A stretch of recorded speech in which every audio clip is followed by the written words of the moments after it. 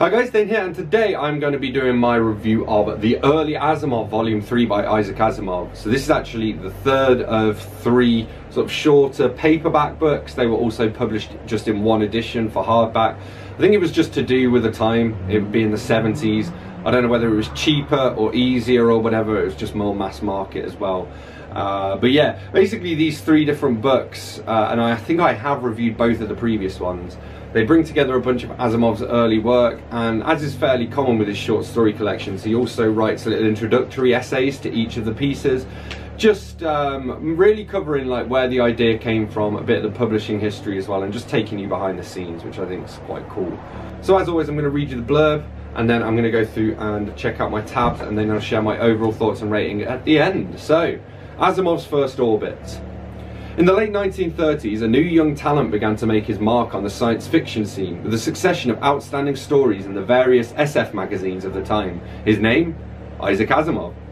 He was later to become world renowned as the author of such classics of modern science fiction as the epic Foundation trilogy and the robot stories, in which he formulated the now famous three laws of robotics.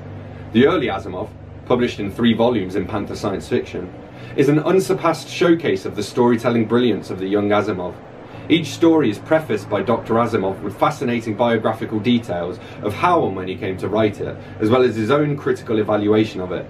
The result is a doubly rich science fiction treat, a collection of tales that makes engrossing entertainment in its own right and, in addition, gives the reader a first-hand look at the development of the 20th century's undisputed grandmaster of science fiction. So we're going to start here with author author which is I guess his equivalent of like Misery by Stephen King. It very much uh, analyzes what it's like to be a writer.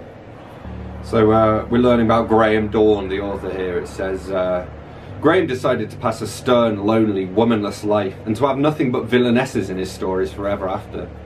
He was answering in monosyllables, alternating yeses and nos. Yes, he did take cocaine on occasion. He found it helped the creative urge. No, he didn't think he could allow Hollywood to take over the Meister. He thought movies weren't true expressions of real art. Besides, they were just a passing fad. Yes, he would read Miss Crumb's manuscripts if she brought them, only too glad to.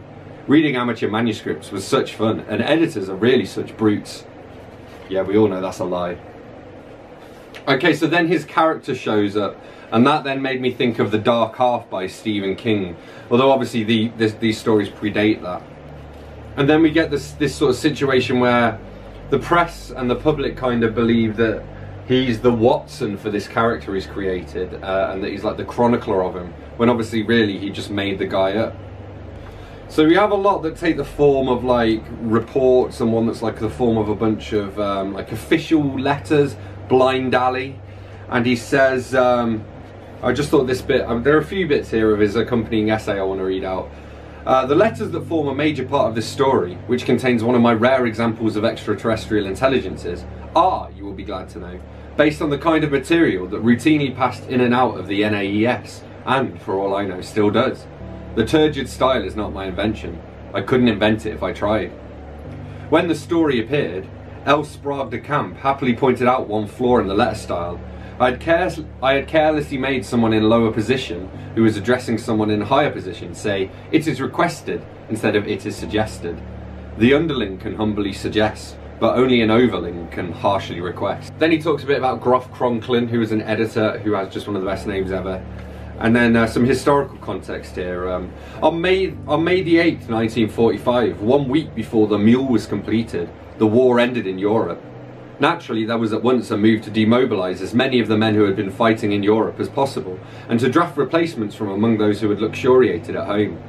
All through the war, till then, I had been receiving regular draft deferments as a research chemist working in a position important to the war effort. Periodically, there were revisions of the draft rules, and it was a rare month in which it did not look at one time or another as though I might be drafted. It kept me on my toes, I can tell you, but I did not feel particularly ill used. My predominant feeling was that of a sneaking guilt at not being drafted and some shame that I was relieved at my deferment. During 1944, the uncertainty went so far that I was called in for a physical examination, and it at once turned out that my nearsightedness was so bad as to render me ineligible for the draft anyway. After VE Day, the Navy Yard was ordered to retain only some percentage of those of its deferred employees, allowing the remainder to be drafted. Presumably, the Navy Yard would select its most important employees to keep, but they knew a better trick according to the tale we employees heard. They retained all draftable employees who met the physical requirements and removed protection from those who did not meet them either because of age or physical defect. In this way, they hoped to keep them all. Those who were fit because they were declared necessary, and those, were, and those who were over age or unfit because they were over age or unfit. I, as an unfit employee, was one of those declared non-essential. And then, you guessed it, the army lowered its physical requirements. The result that those Navy Yard employees with bad eyes or other mild deficiencies were put in imminent peril of the draft, while others, who were in every way equivalent except that they were in good shape, were not. You may well laugh. And uh, so this is interesting. It says that naturally it was slow work. I didn't finish first draft till February 17th, and then everything came to a halt when the very next day I discovered that I would be among those sent out to the South Pacific to participate in Operation Crossroads. This was the first post-war atom bomb test on the island of Bikini, which later gave its name to a bathing suit so skimpy as to react on the male constitution, in theory, like an atom bomb. The fact that a week later I received my check for the anthologization of Blind Alley did little to raise my spirits. There's a little mention he sold one of his film scripts to Orson Welles, although nothing came of it, sadly. So I thought this was interesting and kind of philosophical, and also true though, you know. Um, the administrator of the Red River Guro grouping held a position in no way different in essentials from that of the museum curator, the recorder, or any other voluntary job holder. To expect a difference is to assume a society in which executive ability is rare.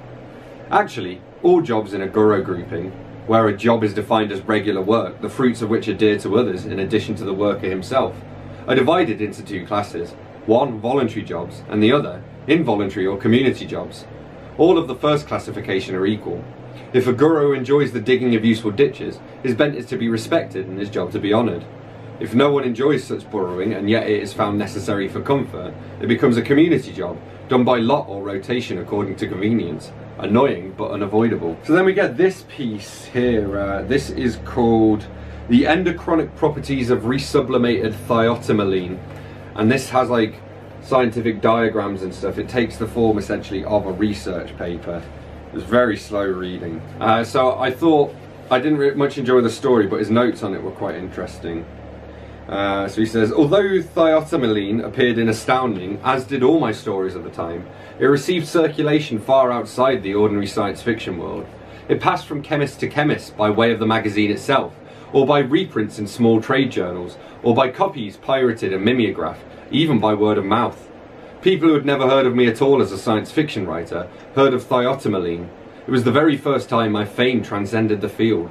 What's more, although thiotimoline was essentially a work of fantasy, the form was that of non-fiction. Viewed from that standpoint, thiotimoline was the first piece of non-fiction I had ever published professionally, the harbinger of a vast amount to come. But what amused me most was that a surprising number of readers actually took the article seriously. I was told that in the weeks after its appearance, the librarians at the New York Public Library were driven out of their minds by hordes of eager youngsters who demanded to see copies of the fake journals I had used as pseudo-references. And I imagine he took great joy in that as well. I would. We get a little conversation about uh, tobacco here, space, space tobacco. I notice you're smoking earth-grown tobacco. A habit I can break if I have to. Probably by giving up smoking. I wouldn't use outer world tobacco for anything but killing mosquitoes. This is the kind of mistake that I make in my writing and uh, this shows the importance of having a good editor. Shout out to Pamelise Harris, my editor. he says, one thing about the story that I can't explain is the fact that I have two characters in it, one of whom is named Moreno and one Marino. I haven't the slightest idea why I use such similar names. There was no significance in it, I assure you, only carelessness. There was also a Maynard. And then uh, here's how the book ends, and I think it's rather fitting, so I'm going to read that out to you guys. With all this taken into account, it is not surprising that my earnings as a writer began to rise rapidly almost as soon as I came to Boston. By 1952, I was making considerably more money as a writer than as a professor, and the discrepancy grew larger in favour of writing each succeeding year. By 1957, I decided, still somewhat to my surprise, that I had been a writer all along, and that that was all I was. On July the 1st, 1958, I gave up my salary and my duties, but, with the agreement of the school, kept my title, which was then Associate Professor of Biochemistry. I keep that title to this day. I give an occasional lecture at the school when asked to do so, and I also lecture elsewhere when asked to do so, and charge a fee. For the rest, I became a full-time freelance writer, which is what I do. Writing is easy now and is ever more satisfying. I keep what amounts to a 70 hour week, which is what I do, if you count all the ancillary jobs of proofreading, indexing, research and so on. I average seven or eight books a year, and this book, The Early Asimov, is my 125th book.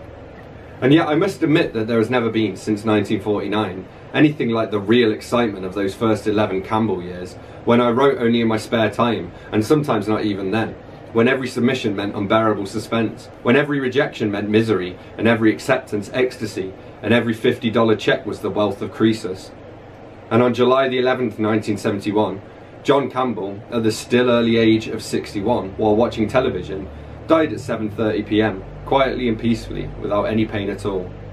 There is no way there is no way at all to express how much he meant to me and how much he did for me except perhaps to write these books evoking once more those days of a quarter century ago. So overall I did enjoy the early Asimov volume 3. I guess my problem with this is that the first volume really felt like the early Asimov, but by this point he's writing this stuff in between writing things like the Positronic Robots books which he's really well known for. And so it's kind of as though you're just it's not really early Asimov anymore. It's just Asimov in his glory days, except you're not reading the glory days stories. So I don't know. But I'm a completionist, and I'm I'm glad I read them. I could have probably done without the one that was formatted as a scientific report, or the one that was a series of like written reports as well. But I mean, I'll read anything that Asimov wrote, and that's actually eventually the plan. So overall, I gave this one a 3.5 out of 5. So there we have it, that's what I made of the early Asimov, volume 3 by Isaac Asimov. As always, don't forget to let me know what you thought of this book if you read it in the comments. Hit that like button if you've enjoyed this video, hit that subscribe button for more, and I will see you soon for another bookish video. Thanks a lot, bye bye.